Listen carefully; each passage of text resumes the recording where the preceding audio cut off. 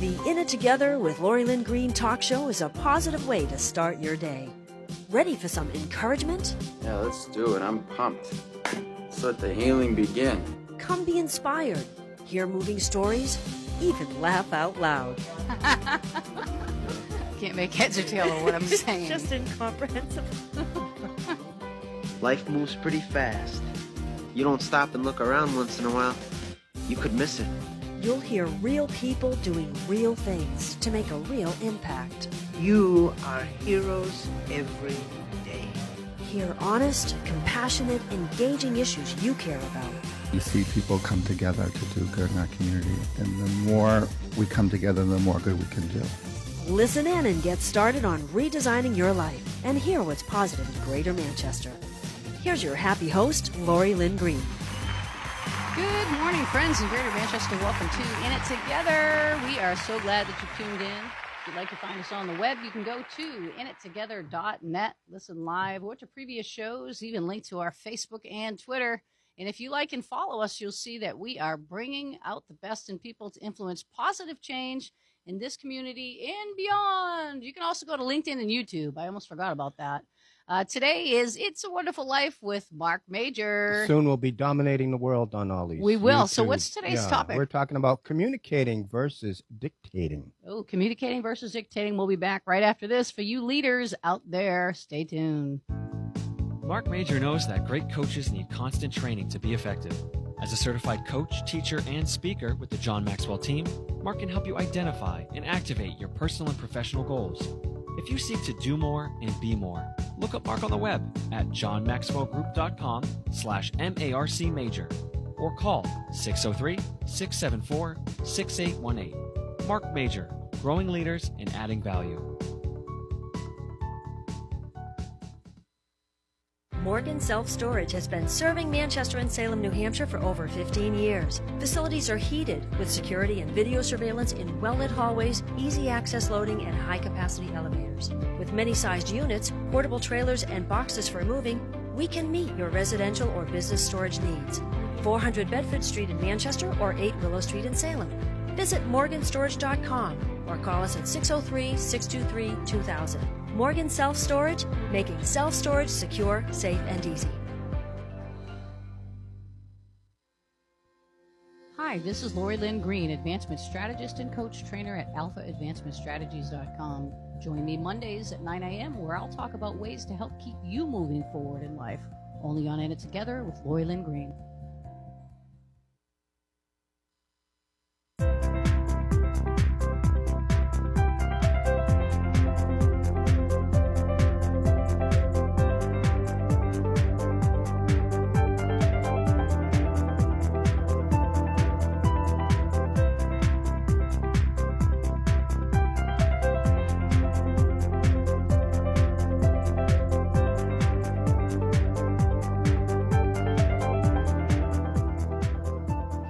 Welcome back to In It Together. Kicking off, it's a wonderful life with Coach, Speaker, Executive Director of the John Maxwell team here locally. You almost said executive dictator, but we're, we're trying to avoid that today, right? We are trying to avoid that. So, first Yeah. off, we always want to welcome our internet radio and live streamers. Uh, thank you for tuning in this morning. We are here to. Uh, this is this is all about leadership development and living a positive lifestyle Absolutely. on on today's program. And Marc, as executive director, coach, speaker, has had various um, opportunities to do this in in many people's lives. He's got a history of management in uh, retail and other things, sales, Sales, radio.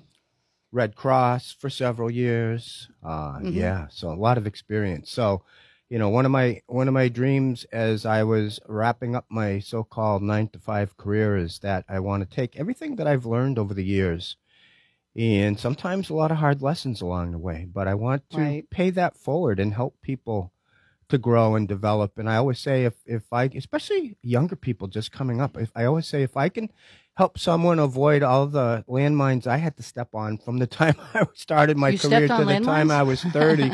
seriously, um, you know, I, I'd love to help people do that. So Right. just from experience and young, you know, we all go through the same stuff, basically. Right. it, it just really comes down to you know a lot of it's perspective, but you know there's there's only so much that you can do in book learning. Exactly, it, it's experience. Yeah, it, it, book learning is important. Okay, so Mhm. that you can. But I think a lot of times the book learning actually helps us to to understand what we've already done and what where where it fits. Right.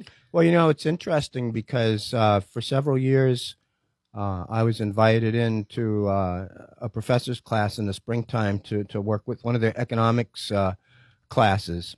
And I always used to have him, uh, uh, you know, give me the book so I can see where you guys are at, so I can address some of those things. Right. And whenever I started the class, I would just come out and, and honestly say, okay, this is what the book says. Now I'm going to teach you about the real world. Uh, It's funny you said. I was just talking to a client uh, the other day. I was meeting with a client who isn't. He, he's on his road to be an amazing author. Mhm. fantasy author. Um, you know, all his professors told him how how amazing he is. They've they've uh, um, nominated him to go and represent their you know writing Mhm. department and things like that. He's just brilliant when just it comes really to that. good, Right. But in our conversation, what I ended up talking to him about with the real life thing was uh, because I do a lot of writing myself was, um, and this is, I don't know if my uh, writing coach is on here, but great guy owns Worldwide Publishing Group shared with me one day, uh, probably more than one day. He's probably said this a thousand times if he said it once is that, uh, your, your conversation voice uh, you you learn everything in school to how to write as a scholarly writer. You Mhm. know, with all the, um, you know, when you're when you usually it's scholarly writing based on facts and things like this, and you have to you know give your uh, all of your resources and things like that, and you you speak in a more Like you're doing a term paper. way. Yeah, well, exactly. Yeah.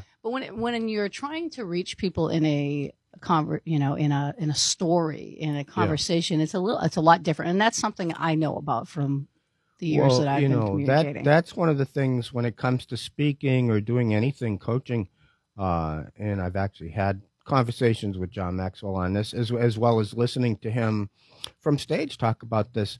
The best thing when you're writing or you're speaking is share a lot of personal stories because those Mhm. examples are what really uh, make the point right.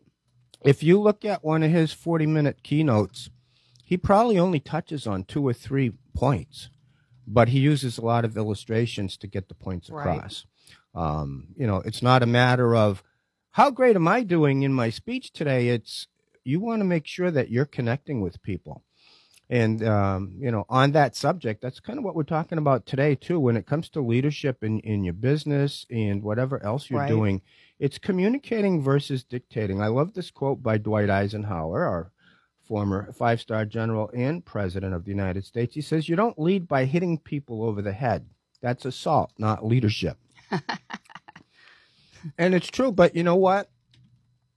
A lot of times, people's upbringing and what they're exposed to uh, is what they know. And when they get into leadership positions, for example, when I was growing up, and I I love my dad, he's a great guy.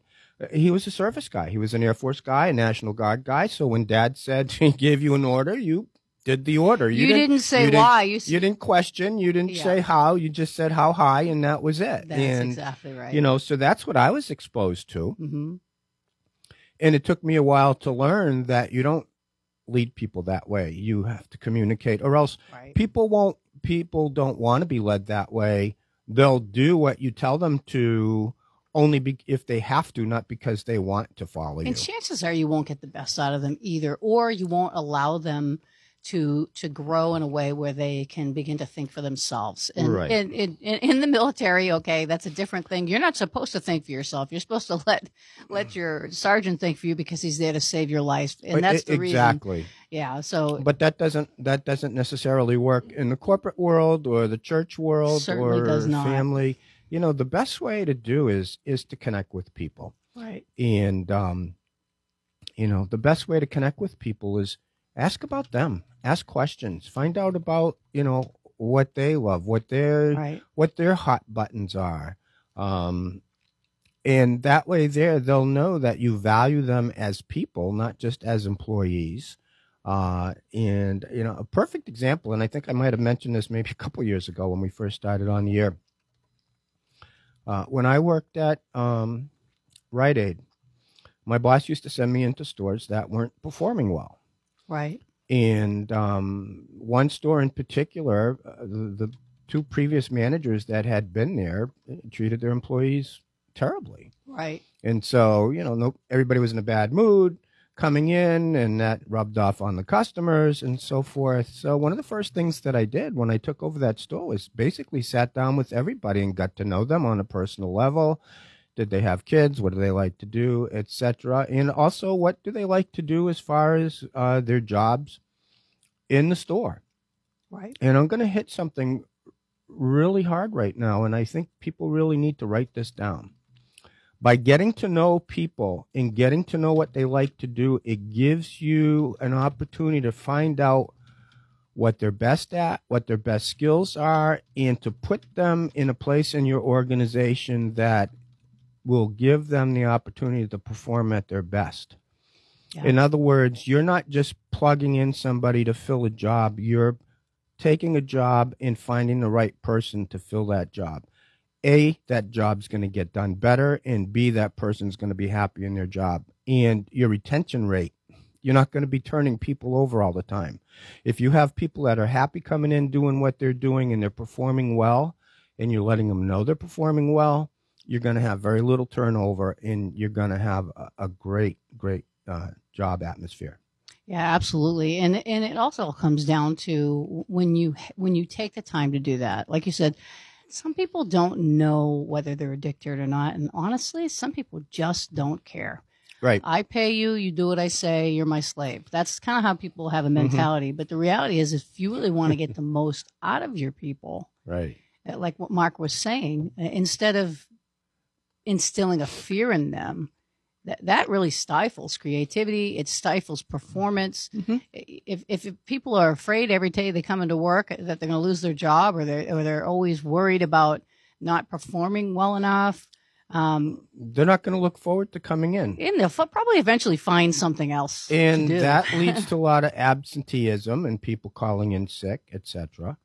And uh, it you know, creates stress. it, it's stress on everybody. I- I think a good leader is someone who can alleviate stress on people. I'm not saying that you don't have expectations, but communicate in a way where Mm-hmm. you you can talk together about okay, how would you approach this? This is what we've done so far. Right. Eventually, you'll f- find your own rhythm, but Mhm. for now, start here, and then until you find your rhythm, start Right. here.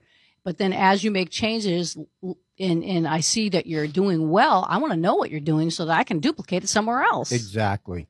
Um, I was listening to a great podcast yesterday. Um, I have access to a lot of different podcasts that John Maxwell does when he interviews uh, top leaders from different industries. And uh, in this podcast, he was he was interviewing uh, Hort, Hort, yeah, Horst Horst Schulze. He was the Mhm. CEO of the Ritz Carlton hotel chain for several years.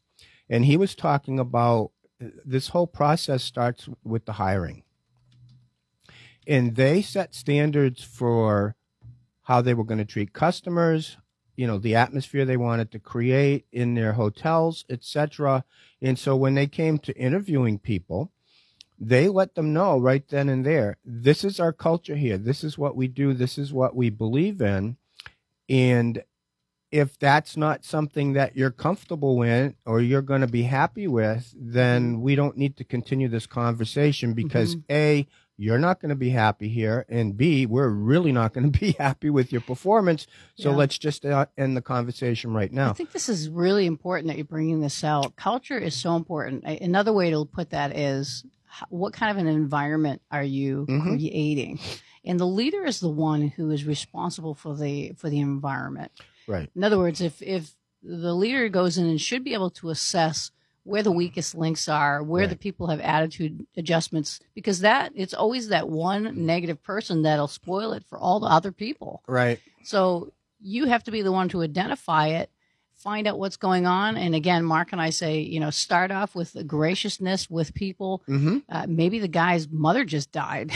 right exactly you don't know uh, what's going on. Maybe they're trying to do everything and they're overwhelmed. Maybe they're, you know, dealing with a, you know, Right. a spouse that's sick or Mhm. things like that. And, and, And that way you can give, have some compassion and assessment, lighten their load a little bit right now while they're going through something or, Right. or, um, yeah, do, do what you can. And then, you know what? They're going to remember that. When they come back strong, they're going to give you everything they have. Exactly, because you tr- you treated them well. You know, one of the other things that he brought up, and he and he was mentioning, he almost hated to be to have to bring this up, but he said, you know, our college system, our education system, is not really teaching people, especially coming out of school these days, what it takes to really perform well on their job. They're teaching them a lot of facts and figures, but they don't really teach them about the real world. And I and I kind of touched on that a little bit earlier. Um, I actually think that we're turning more toward um, more hands-on stuff. I mean, if you've ever watched Mike Rowe, I love Mike Rowe. He's he's the blue collar guy. Uh, America really is made up of more blue collar people Mhm. than than anyone. The service industry. My husband was in the service industry for over forty years. mhm. Uh, very very talented, troubleshooting problems. Uh, really excellent at what he did. Everybody knew, and everybody could call him. And even to this day, if you've never seen anything, he knows the process of how to get the answer. Right. And so when you when you think about that, uh, this is hands-on stuff. So Mm-hmm. I think they're turning more into technical training schools and things Mhm. like that. I think that's what high schools should look like now. It should Right. be almost like going into college. Which areas would you like to explore? Right. I think that's how it started off. Which areas would you like to explore? Now they've taken shop classes out. They've taken cooking classes out. They've, you know, a lot of, they've taken a lot of these. I remember when I out. yeah I remember when I started high school Mhm. way back in 1970. Yeah. There was basically two tracks. They had what they called college course if you wanted to go to college, and then they had the other track. I forget what they called it, but it was basically if you wanted to learn auto mechanic or shop or do that type of stuff, so that Yeah. you didn't waste time taking subjects that were of no value to what your interests Mm-hmm. were. That you were on a track to succeed.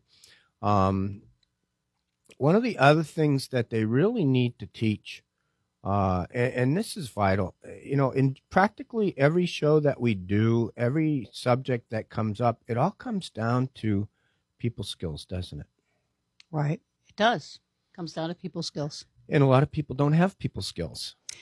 Well, and this is, and- because they Yes. haven't learned. I mean, when I when I grew up, you know, it was you have you have you respect your elders. It's Mister this or Mrs. that or thank you and please and ma- just basic manners, right? it's simple. That, it's interesting that you say this. Um, I, of course, I've been in personal development for oh boy, almost thirty years now. I feel like an old person. Um, Since you were five, yeah, I have been for many years, and so uh, my kids have always been very good with Mhm. people. They're good. They have excellent people skills, not just manners. They're able to read people. Able to- so I ha- I- some of them had had gone to school with people who were very, very what I call book smart. Right? very very book smart. They could- they they'd always be like on honors uh, classes. They'd get all the straight a's. And my kids maybe maybe a b or something. They may, Mm-hmm. Right. may not be in the honors. But what was interesting is uh, one of my sons in school had friend was friends with one of these honors kids. And whenever they would go to do things that kid relied heavily on my son Right, for how to interact with people right, exactly. because he didn't really know how to do that. So what we've learned is that it doesn't matter how much you know if you're not able to communicate and relate with people in a way for them to know what that is. Right, right. I always I always tell people if you want to be able to do that, uh, Dale Carnegie, How to Win Friends and Influence People. I mean, that should be a basic book in everybody's library who wants to be a leader. Yeah, someone just commented. He said, "Mike Rowe, micro is my hero, and the blue collar industry is not taken seriously enough." I, I totally agree. He said we should try to talk about trade school as often, if not more, than going to college. My son will have both options, but trade school is cheaper and is worth it. I've had kids that have done both, and I think it's it's very individual. I think don't go to college unless you know what you want to do. Exactly. Because if, if you come yeah. out with a four year degree in uh, you know Latin studies, Yeah. that's not going to get you a real job anywhere. I mean, you Right. you know. Um, but if you go to a trade school and you learn how to fix air conditioning units or Mhm. electrical or do uh, you know any number of those types of things, those guys make ninety five, hundred bucks an hour. Right. Well, they, they do. Yeah. And here's the thing: all the people that here, we, we kind of have a generation where everybody wants to go to school so that they can sit at home from their Mhm. computer and work all day. yeah, S- And, and to them, that's the idea of freedom. And and I get it. Look, I own my own business and all the stuff because I, I like that freedom as well. But what's missing from that link? I can still like I can still like I installed my own TV. I built my own shelf over there. right, All the decorating in here and the painting and all this. I've done a lot of this stuff myself right. and at home too. So I'm not I'm not like helpless where I have to hire someone to do everything that I need. Right. Um, so it's it's just I feel like it's important to It- consider it. And I think what you're talking about is having a well balanced life.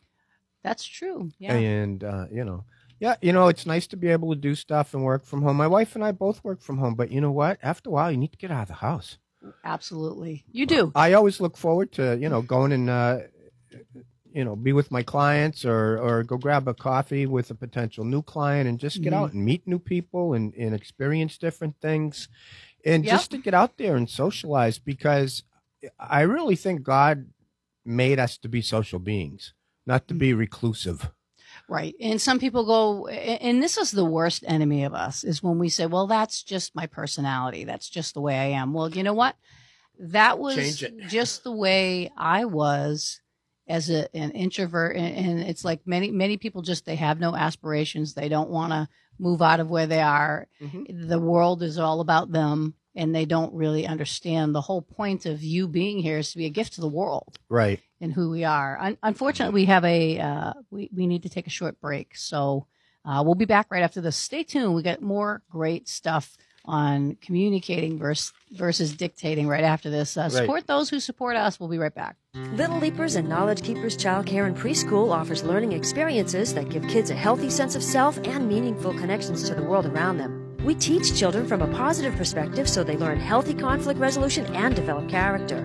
Owner Jennifer Lever has over 28 years' experience in child development. She's helped children learn to read as young as 18 months. Join our happy place where we make happy happen, located in Pinardville, bordering Bedford and Manchester. Call today at 603 491 1780.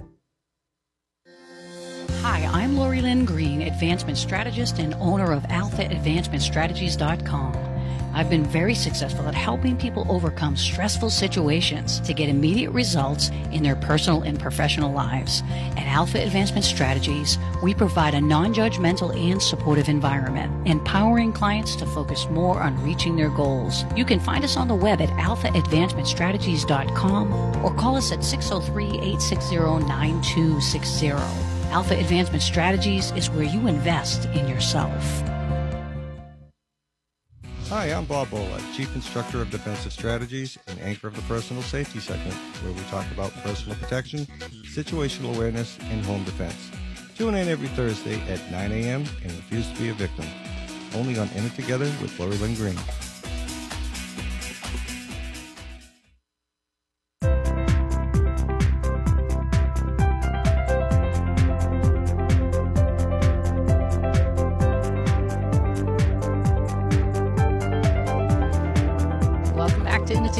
In the midst of It's a Wonderful Life with Marc Major, coach, speaker, executive director, and all around nice guy. But he's got a lot of wisdom, and there's a difference between knowledge and wisdom.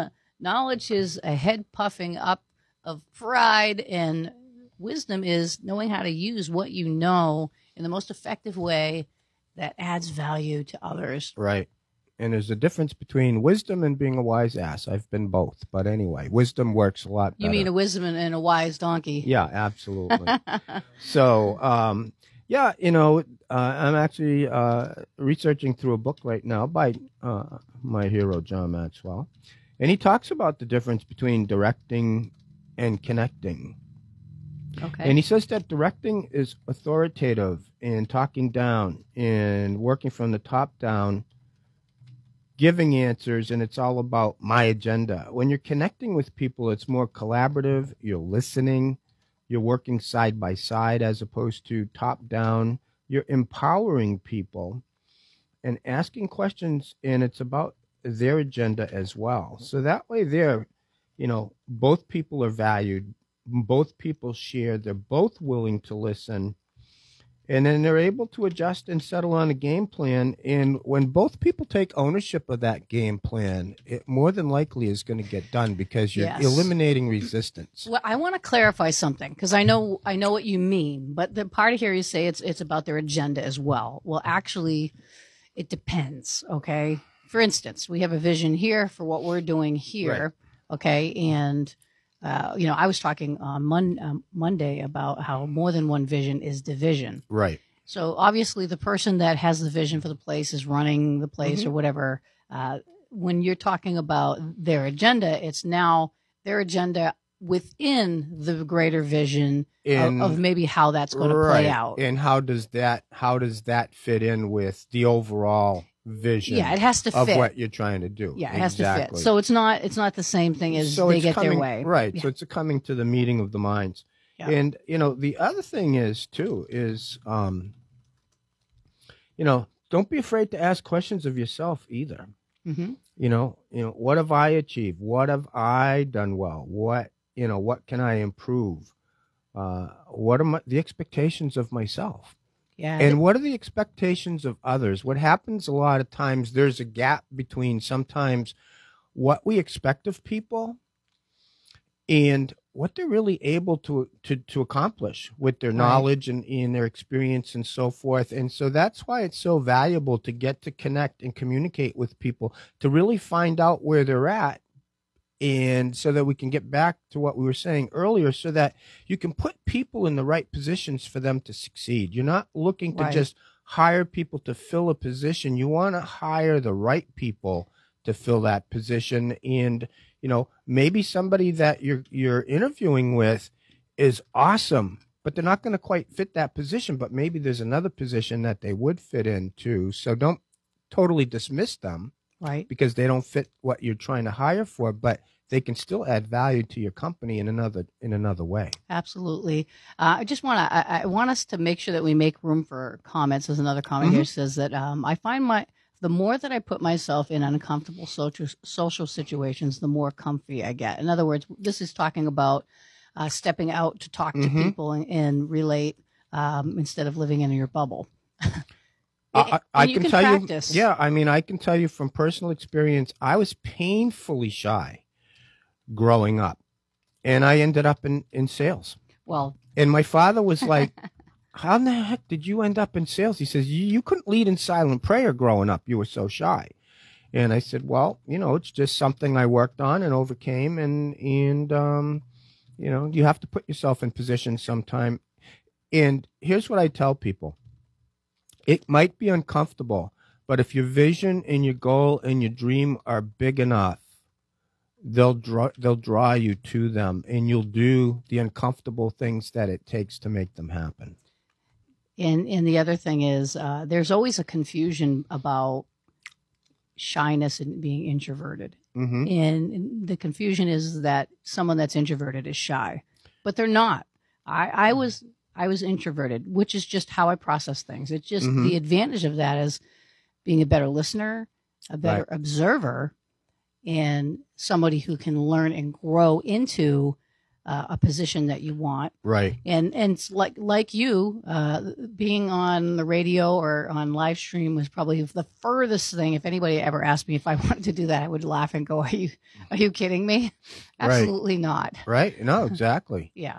Um uh you know there's all kinds of great ways if you want to connect with people even outside of um outside of the job or whatever you know go grab coffee go grab lunch right a lot of times when I'm uh, working with new clients or whatever, and it's like, oh, do you want to meet in an office? You know what? S- Meet me at Panera. Meet me at Dunkin's. Meet me at. We'll grab a coffee. No pressure. No, because it, it it puts you in a neutral atmosphere where the, it's just more comfortable for everybody. And if you want to really do, here, here's the thing that works out well too is if you want to build a relationship with the people under you, sometimes simple stuff, you know, Friday afternoon, hey, let's order pizza. Let's have a nice lunch and let's let's you know kind of uh, you know, everybody talk, everybody socialize, everybody, and you get to know each other, and you're actually building relationships, not just be, for a working relationship, but you're actually getting to know each other, etc. And that really can make a difference as well, can't it? Yeah, there's a few things going through my head right now, and I just I feel like there's a, there's some great there's some great things here. Uh, I was kind of looking at a, an article, "How to Avoid Managing Like a Dictator," and value teamwork. And some of the points that the author of this makes, his name is Brady Nash. This was written in 2017, and um, really he asks the question, "What type of a leader are you?" There's four areas. He's like, "What type of leader are you?"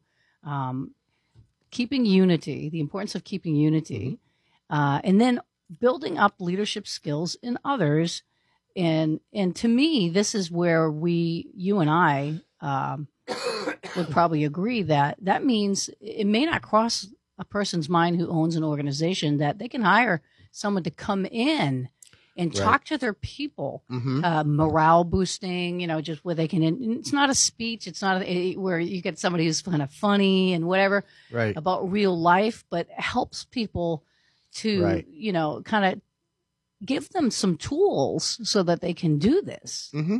Okay. So uh, the first one, as far as what type of a leader are you, is really, we talk about this all the time, how important it is to be self aware. Right. What personality are you? And if, you know, we talk about Florence Littauer's book, The right. uh, Personality Plus, which is a very simple form of, mm-hmm. you know, other personality ones. And, and they're not all 100% foolproof, but they're a good beginning gauge to tell you where right. you're starting from, not who you are forever. Right. And, and I think a lot of people look at those and go, this is just how I am. No, we're all to be moved into, we all become more like God designed us to right. be. Well, you know, speaking on that point, mm-hmm. Uh, I took a DISC assessment like four years ago uh, for a position I was doing on some leadership stuff in our church, and just recently took another one a couple of months ago. Uh, that uh, now we're going to have the opportunity to become DISC certified to actually teach DISC uh, through the John Maxwell team. It changed a bit because right. I've grown over those four yes. years. And you the develop, other, yeah. And the other thing to remember somebody might be what they call a driver in one situation, you know, get it done, get it done, etc. But in another situation, they might be another per, you know, another personality, depending, depending on, on what the situation, what the situation requires. is. There's yeah. times where you need to lead, and there's times where somebody has more experience and they're probably better qualified to lead than you are and sometimes you got to let somebody else take the helm a little bit okay and to me this is i'm so glad you brought it up because the next point i wanted to bring up is, is how do we have the wisdom to know the difference this is where you and i very strongly believe in uh, the spiritual aspect mm-hmm. of a relationship with god who gives us wisdom mm-hmm. whenever we ask for it and so we're not relying just on our own experiences and stuff. The difference, be, and I was telling someone this yesterday, you can have experiences, but they don't change the truth. But the truth can always change your experience. Right, exactly. And so I think it was yesterday with Jen, because the, the, the this is why